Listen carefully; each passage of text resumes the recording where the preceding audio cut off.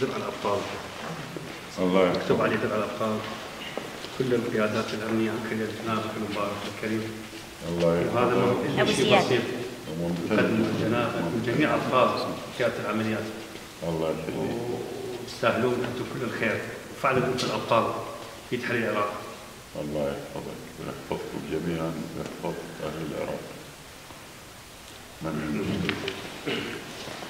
والسيد المستشار ميسر النجماوي قدم لك كتب كلها تاريخ. الموصل أي. قدم لك عقل العراق الناظر. إيه. فلولا العقل الجسم يعطل منظف بالأخص شارع النجفي. هو إحنا عام حمله الحمقان إحنا عندنا يعني شارع الموصل. إذا رجع ترجع الموصل. اولا شكرا على الهدية واعتز بها وأنا بحاجة أنه أعيد آه، قراءة يعني ما كتب عن آه، الموصل.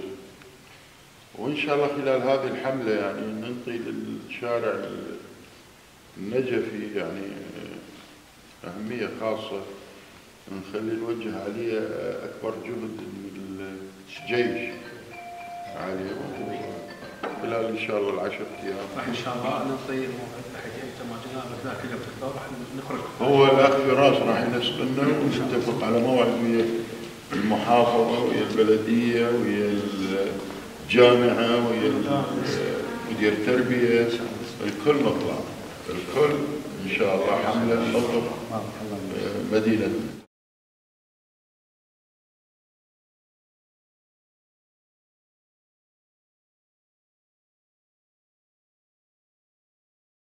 اشكروا على حفاوة الاستقبال. فكان النقاش حقيقة آه، يدور في محاور ثلاث محاور. الأمور الخدمية والأمنية والإنسانية. شكرنا السيد القائد على مواقفه البطولية. المواقف اللي آه، يفتخر بها جميع محافظة نينوى في هذا الموقف اللي حرر مدينة الموصل من آه، داعش الإرهابي. وبنفس الموقف شكرناه على المواقف الإنسانية والقيادات الأمنية الموجودة في المحافظة. وطلبنا عدة طلبات منها آه، جنابه يأكد لنا على الازدحام الحاصل ما بين الجانب الأيمن والأيسر ذهابا وإيابا. ووعدنا خيرا سيد القائد.